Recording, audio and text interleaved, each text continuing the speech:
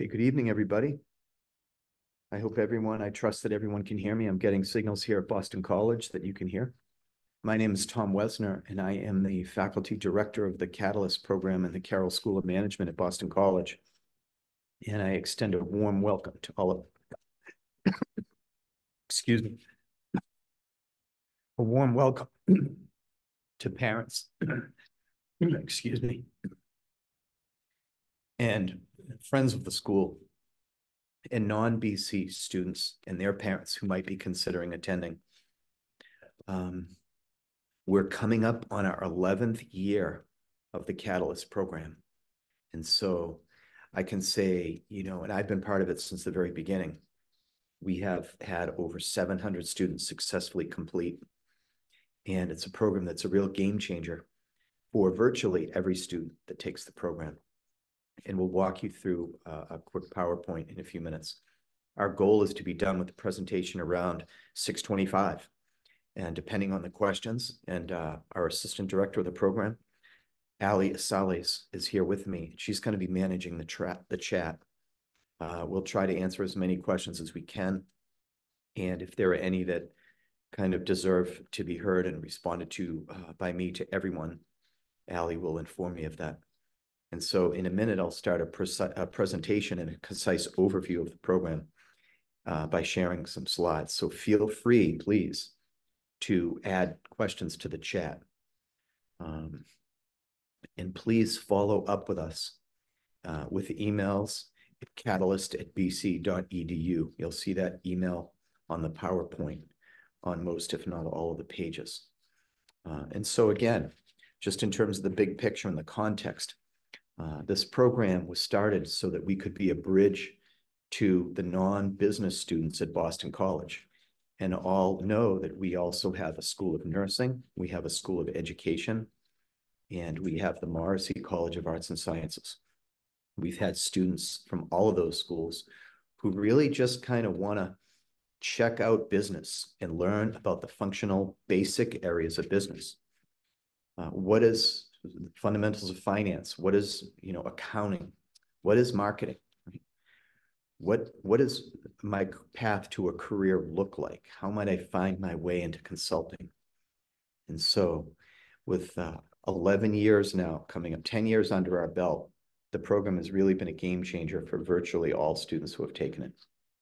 So catalyst was designed to provide an opportunity for liberal arts students to become familiar with the world of work and to think about themselves in different careers.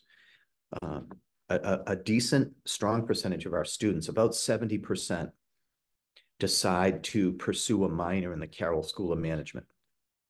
And so before the value, I think one of the real values of Catalyst is before students march into Fulton Hall and just say, I'm going to declare a minor in finance or accounting or marketing or one of our other minors, they can at least have some exposure to what those courses would would look like, how they would feel, whether it really is for them.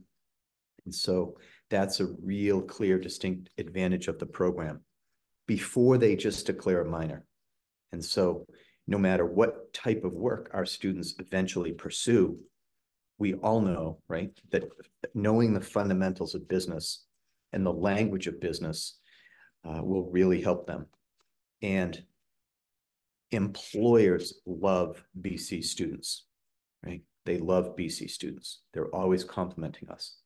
And Catalyst graduates always report, constantly report to us that employers who they end up interviewing with, who recruit heavily on campus, will note on their resumes that it says Morrissey College typically and Carroll School of Management. And that becomes a distinct talking point that lets our graduates talk about their, their motivation, their curiosity, and how committed they are as young people to summer coursework, which, you know, coming here for eight weeks in the summer demonstrates tenacity and curiosity to a significant degree. So it's a wonderful opportunity for students to send, spend eight weeks on the campus, seeing the beautiful campus in the summertime. They don't have to wait in line for, you know, equipment in the gym, right, in the recplex, and they really make friends and they can live on campus and see, sightsee around Boston and becomes a real summer of enrichment and a summer of learning with value. So welcome aboard. I'm going to move through the, the slides now. So here's how we're going to go. Just a quick program overview, the structure of the program, the effect on a student's transcript. And then again, as we proceed, you can please enter in questions into the chat. So what does the program look like and what are the dates? The program runs from May 22nd, which is two days after our university commencement, through July 12th. So in terms of parents uh, and student planning, students who are in a dorm, they have to move out, they have to vacate. And housing is controlled by summer housing. They're their own office. We don't control that office. And so students would pack their stuff and typically go home for a week. And um, then they would move back in. The move-in day is May 21, the day after university commencement. Okay, we, we're an in-person program. During COVID, we had a remote option, but we, we do not have a remote option anymore. So what we do is we meet four days a week, typically Tuesday through Friday. We meet from 9.30 to 11.45 is the first class in the morning, and then 12.30 to 2.45. We meet four days a week for eight weeks. Um, we have mini breaks, Memorial Day, Juneteenth, the 4th of July. We allow our students, we give the students a little break, which they need around then before exams, a four-day break over the 4th of July weekend. And so uh, it's a rigorous program, but the students really enjoy their three-day weekends. I assure you, they need it. It's a lot of work. For parents, when they think about, you know, sort of the value proposition, uh, and that's critical to think about. It's an 11 credit program. So a typical full-time semester at Boston College is 15 credits. So 11 credits, uh, 70 to 73% of a full semester is taken in half the time in eight weeks instead of 15 or 16, including exam weeks. So it's a lot of work. And five hours of class a day is a lot of work. So the students are busy. They're very busy. Uh, but again, four day, uh, sorry, three day weekends, you know, really helps. Um, the professors in the program are super high energy. They've all taught in the program multiple years. All of our teachers are full-time faculty in the Carroll School of Management. There are other programs, you know, out there around. And I think one of the distinct advantages of our program is that all of our professors are full-time year-round faculty members who teach you know, a lot and who are high energy and highly qualified and excellent teachers and who love teaching in Catalyst and love Catalyst, right? And so it's a different experience as a teacher when we're teaching non-business students because students, and I teach in the, I teach law in the program as well.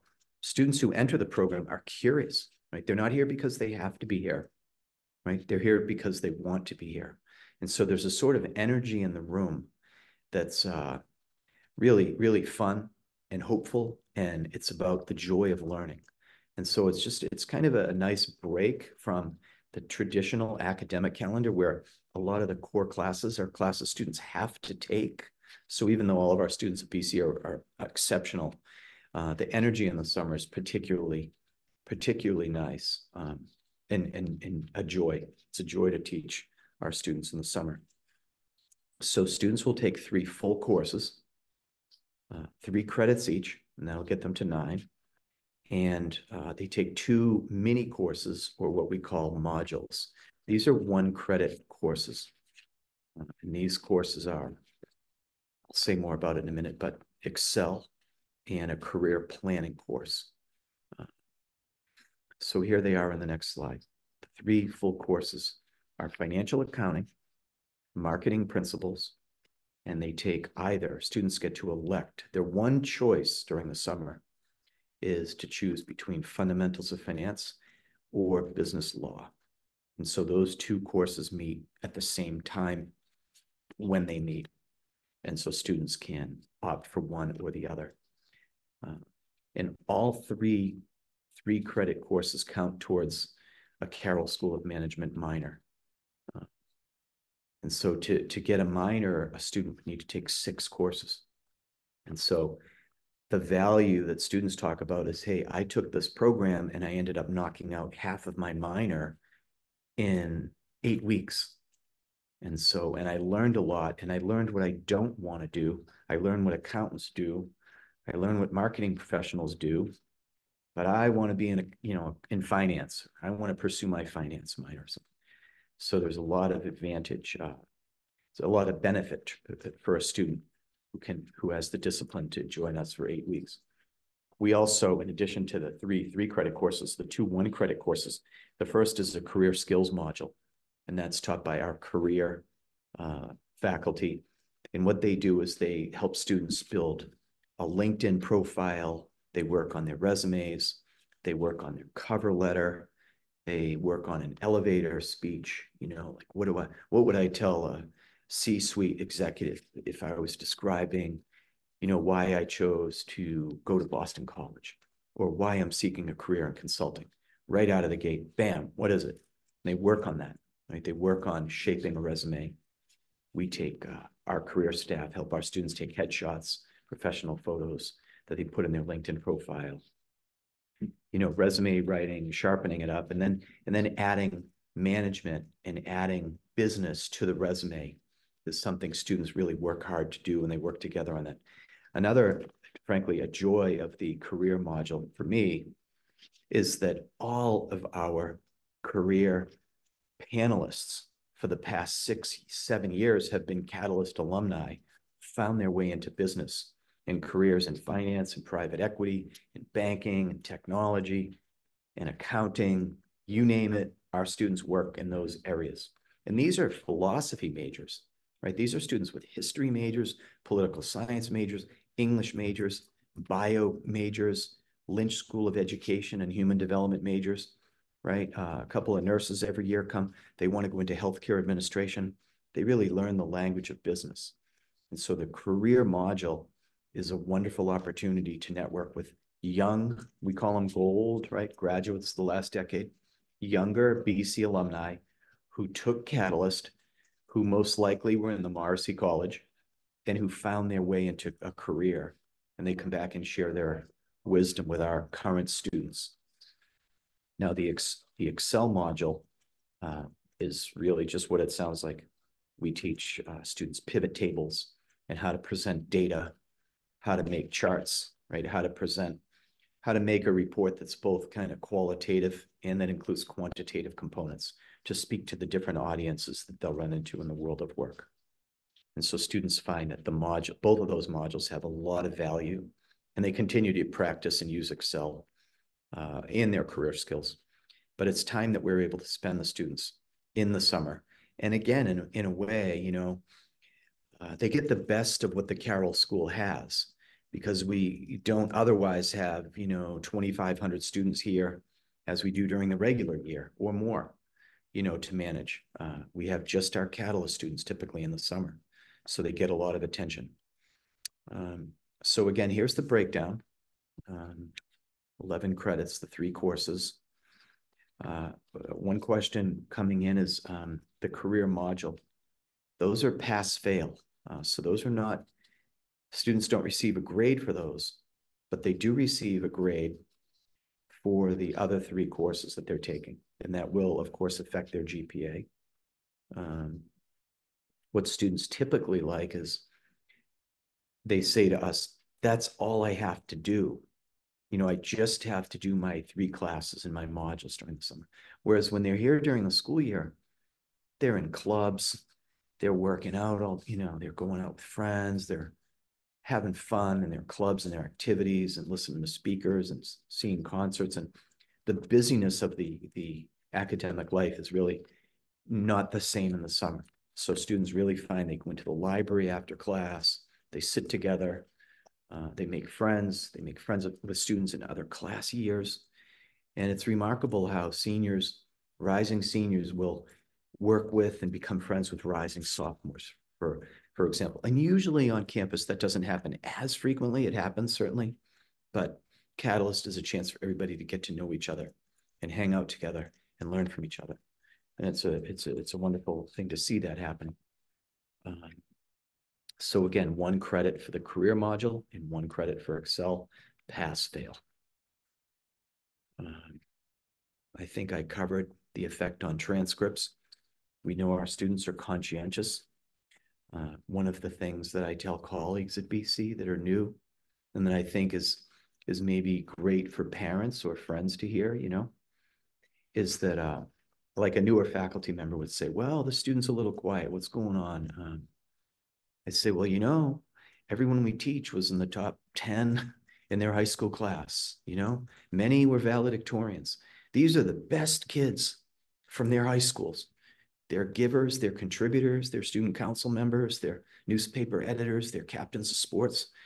Even if they're quiet and maybe a little introverted, every BC student is excellent. And so uh, challenge them, right? Hold them to a high standard, you know, get to know them, push them. BC students will, will respond. And you put them in a room together, magical things happen. And so our students work really hard and their grades are, you know, their GPAs are important to them. And so uh, Catalyst is no different. The students work hard and their summer GPA is factored in. The summer grades are factored into their overall GPA. No surprise, as it should be. And at the end of Catalyst, uh, we have a graduation ceremony. We actually have a few field trips. Um, we have the first week, we have a ropes course, kind of a bonding day. We take them out on buses out to a ropes course. We have pizza Fridays. Uh, we have speaker lunches. Last year, we had the head of our endowment speak. We had the director, the dean of our admission office speak. We had a research librarian speak, teach students how to do industry research and SWOT analyses and look for industry reports and, and look up look up company research before they go on interviews. Um, so there's these get together opportunities, lunches, breakfasts, things we have, um, speakers, and then the career panels. So all of those things, you know, lead to uh, an end with a with an award ceremony, a certificate ceremony where students who have passed all of our course requirements will receive a, a, a completion, uh, a certificate of completion at the end. Uh, and so parents would say naturally, what are the costs, right? This is an investment. Uh, and the cost you can see here on this slide, maybe you're driving in a car and you can't see it. It's 15,800 is the cost for the summer. And that includes uh, the 11 credits, their books, and their learning materials, and all the events that students attend, lunches, pizza Fridays. In our program, it wouldn't be a surprise to many parents. In our program review at the end of the summer, one of their favorite events is Pizza Fridays, right? Students like when we bring them their favorite pizza on Friday. Uh, in the program uh, evaluations at the end of the summer, consistently report that 80, 90, 95% of students would either strongly or, you know, or definitely recommend the program to a friend or a relative. Uh, we have a lot of data on that, confirming the value of the program. And most students who apply to Catalyst know a friend who, who has taken the program and benefited from it and, and would speak highly about it. So a 5,000, 1,100 is the cost. And there are a lot of uh, little events during that eight weeks. Housing costs are not included, as mentioned earlier. The Office of, you know, Summer Housing is its own little enterprise. They have to clean the dorms, they have to paint dorms, they have to, you know, update dorms and move furniture around. They decide when students come in and out. The Carroll School of Management um, doesn't control summer housing. And so if a student wants to live in camp eh, on campus, they can do so. A, a dormitory will be available typically on lower, just about always on lower campus, which generally means an air conditioned room with a small kitchen. And it's either 2K, 2000 ComAv or uh. Last year, students were right on Com Commonwealth Ave, right outside of our main gate, quick walk to the campus. They loved that dorm. We don't control what dorm they're put in, but the, the summer managers know that the students need to be on campus every day, you know, four days a week for classes. The cost is $30 per night, and that is comes out to roughly $1,800. I don't know that a decision has been made yet on the per diem, the per night rate, but we assume it's probably around what it was last year. And then the last bullet on this page is, states that a limited number of need-based scholarships are available. So this is a BC policy. If a student receives aid from Boston College, they would be eligible to receive aid from the Catalyst program, but they need to get their applications in. Basically, the financial aid applications close, uh, you know, in a few days. We, we ask those be submitted in the first week of February. And if a student does not receive aid from Boston College, they're not uh, eligible to receive aid from the Catalyst program. And here is our uh, commencement, you know, like our little celebratory picture that we took last year. At the end of our graduation ceremony, uh, again, the students make friends. They interrelate very well as BC students do. BC students are social creatures.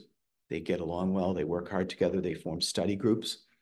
Uh, often they're in the library at night together. We have a lot of group projects that they work on together. We have some debates and teamwork that's required. Sometimes we uh, have a student that will live locally in Eastern Mass. Um, and they might commute if they live close enough, but it turns out there is a lot of work. So most students over the course of 10 years say it was a lot easier to live on campus or just off campus. Sometimes we have rising seniors that are in an off-campus apartment and their lease runs through August. And so they stay there or they sublease an apartment just off campus or close to campus uh, from friends or someone else they know. One little issue around living off campus, if a, if a student decides to do that, is that the BC bus does not run as frequently during the summer. So we have a bus that serves Newton campus, which many of you know, and Cleveland Circle and the surrounding area, and it just doesn't run nearly as frequently. So, you know, some students bike, they ride their bike in from an off-campus apartment, uh, but many do say that in the end, it's easier to live on campus. Um, so I think I've covered just about everything. Allie, do we have any questions that? Yeah, um, we have one question about the homework load in Catalyst versus the school year. Do you want to speak? That's a great question. So if you didn't hear Allie, um, Allie mentions one of the questions is well, how do you compare and contrast the amount of homework on a daily basis to the regular school year. The students report that Catalyst is intense and it feels, many weeks feel like midterm week feels when they're full-time day students in the regular school year.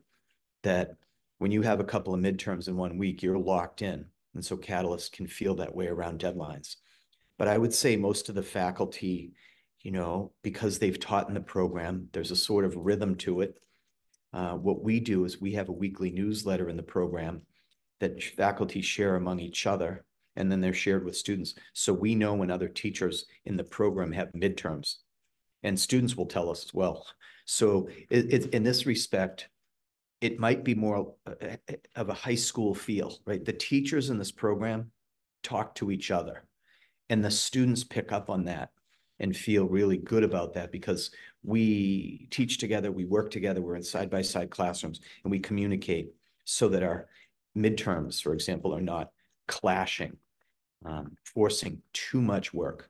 But again, this is a demanding school, it's a demanding program, and we expect students to work hard and they learn a lot. So there are just going to be some weeks that are like that. But typically, we would say if students give a fair effort every night before they have classes, taking weekends to relax, um, it's a fair amount of work. Some three, some four hours of homework a night, three would be about reasonable to be ready for five hours of class the next day because we cover a lot and we go fast, right? 20 hours of class a week is a lot of class time.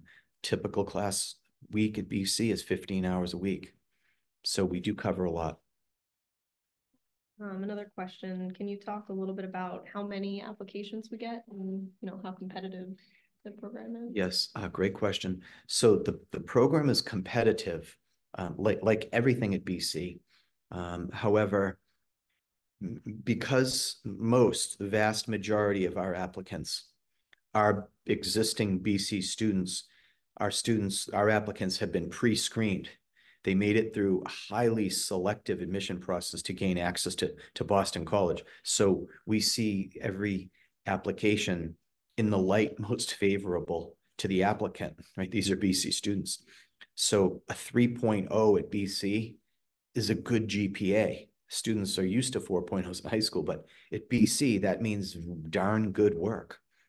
So um, the majority, the majority of the applicants are admitted to the program, the majority. But of course, like everything, as I mentioned, not every student will gain admission.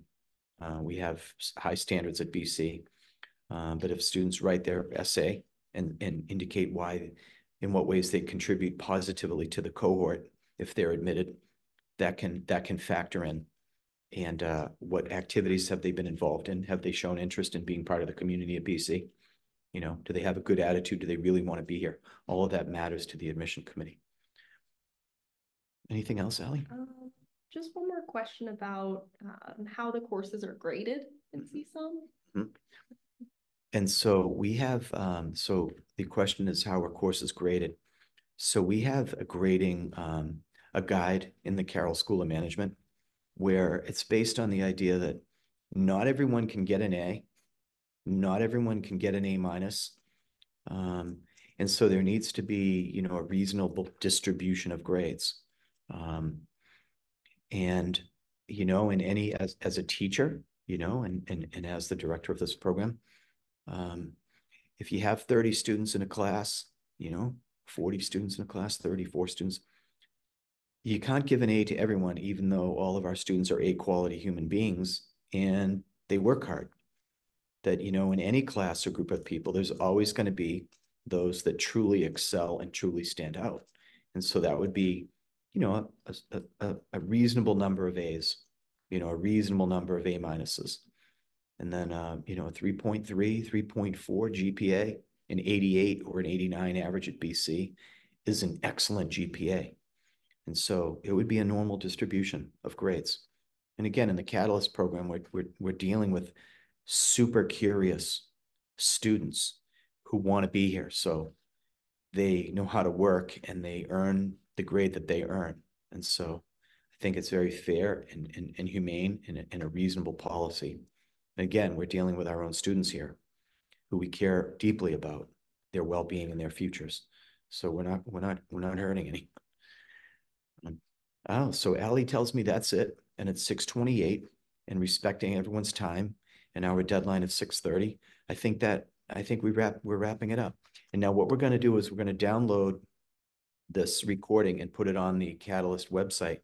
And someone could uh listen to it again or share it. Or maybe uh if I wasn't too boring, you could uh, or if I was boring, you could play it at eleven at night. It could help you all fall asleep. But thanks all for joining us. I look forward to, and Ally joins me in looking forward to meeting your sons and daughters. Uh, we love our students here at BC and we hope that they consider applying to the program and spending a summer with us. And so have a great night to everybody. Thanks for tuning in.